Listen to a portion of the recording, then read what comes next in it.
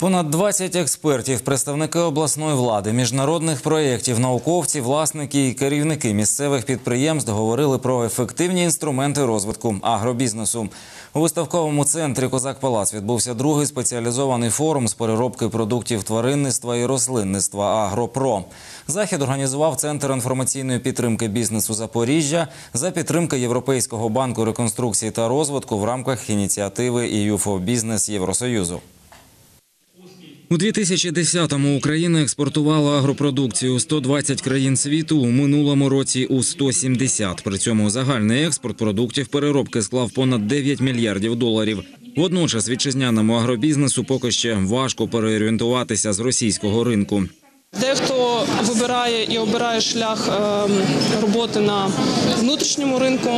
Хтось, наприклад, йде на ринки Східної Азії, комусь комфортніше, і хтось робить ставку на високомаржинальний, досить ем, прибутковий ринок Євросоюзу, який забезпечує як мінімум 500 мільйонів споживачів, які можуть голосувати е, грошима за продукт, за якісний продукт, за безпечний продукт, за такий продукт, який йде від поля до, до лавки магазину і є абсолютно безпечним в усьому ланцюгу постачання.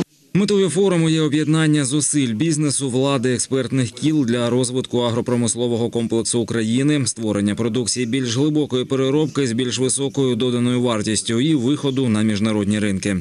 Рады, что в рамках проекта «Юфо Бизнес» и деятельности Центра информационной поддержки бизнеса мы получили новые возможности.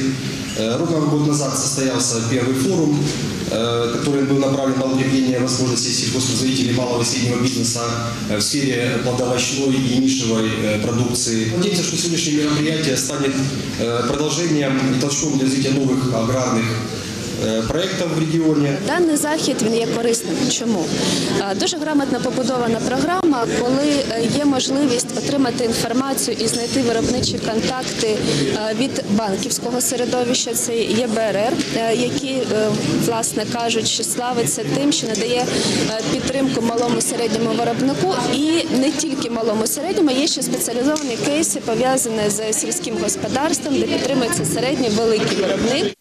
Є й гарні новини від уряду. Кабмін ухвалив зміни до порядку використання коштів у сільському господарстві. Полегшено доступ фермерам до підтримки, запроваджені дотації для новостворених господарств, внесені зміни до порядку використання коштів по сільськогосподарській техніці, а також компенсація єдиного соціального внеску. Це в розмірі 5,5 мінімальних заробітних плат на одну осібу, але на трьох осіб членів фермерського господарства, незалежно від того, е, чи це е, фізичні особи підприємства, сімейне фермерське господарство, чи це юридична особа. Форум продовжиться 2 листопада виїздом на підприємство у селі Петрополь.